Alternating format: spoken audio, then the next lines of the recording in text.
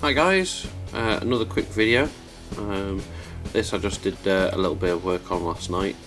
Uh, this will be my Codicier stroke librarian. Uh, I know it's pre-heresy, um, but this will be only used before the Council of Nikaea when uh, the Emperor bans uh, the use of librarians and codiciers, although they started to start using them again once the heresy was in full swing. Um, what I've done with this model is like I do with all my models. Whilst painting and before they're painted. I uh, put a pin in their leg so I can take them out easier to work with I find. Um, basically the plastic uh, tactical marines sprues come with this front piece that you see here for his chest just from Mark V armour. Uh, the back piece is from the Grey Knights box set. It's uh, um, Justicar, I think, or something like that. They don't marry perfectly, but uh, with a bit of work, knife work, filing, gluing, it uh, it fits in the end.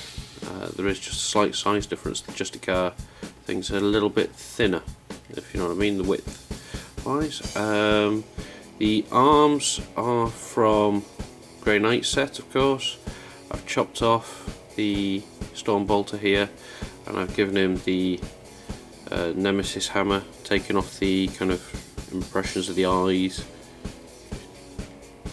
Uh, come on, focus, you damn thing. Yeah, so taking off the kind of eyes, the inquisitional signs. Um, Pre Heresy uh, studded shoulder pad.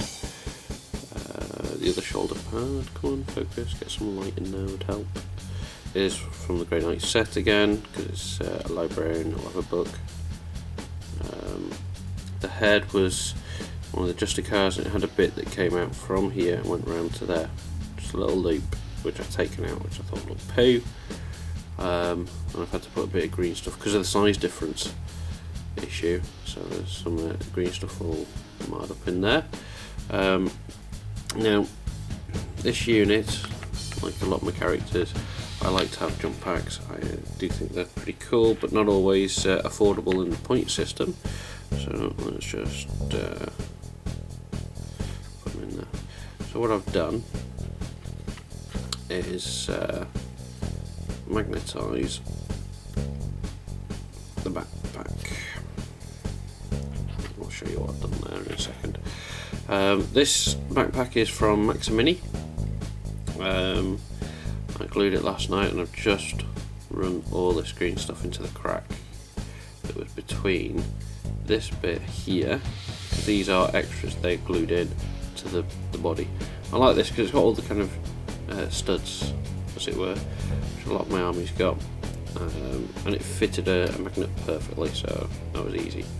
Uh, and the hole I drilled out is for a corresponding pin on the back of the miniature. Come on, focus. Yes, it's up close, come on, there you go. See that pin goes into that hole that I've made. Uh, and the magnet holds it into place. It just stops it from swinging all the way around whilst going across the battlefield like that, which it could do. It just helps and I have a corresponding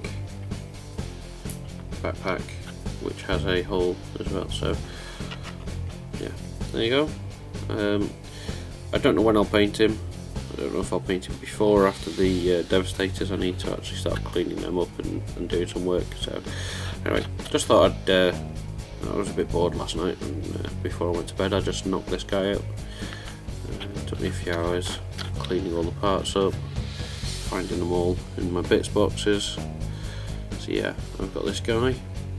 Uh, at some point I'll be doing a chaplain and I'll probably do the same with the backpack I quite like, uh, like I say, I like fast attack which is pretty much not the greatest thing for, for salamanders since they're supposed to come from a high grav world but uh, they still have access to them so I don't see why I can't use them. So, Alright, till the next one, please comment, rate and subscribe I'll see you then.